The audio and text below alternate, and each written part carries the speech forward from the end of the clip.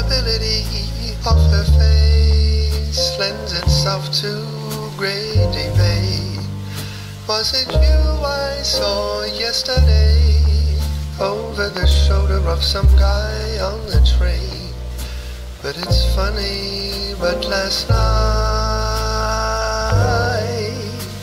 the face of an angel watched me as I played long into the night.